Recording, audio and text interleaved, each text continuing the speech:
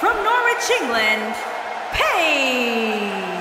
Byron Paige said earlier that tonight she's going to prove that this is her house. Your thoughts? Well, until proven otherwise, I'd have to take your word for it, Michael.